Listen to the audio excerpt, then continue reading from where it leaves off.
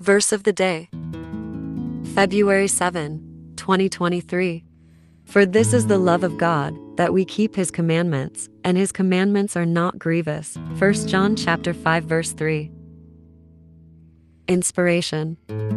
As Christians, we know that we are saved because of God's great act of love, and our response is, of course, to reciprocate that love. But how do we do that? Of course, prayer and worship are proper expressions of love for God, and so is obedience. God has given us His commands and His instructions out of love for us, and when we heed His word, we demonstrate our love for Him. Let us pray.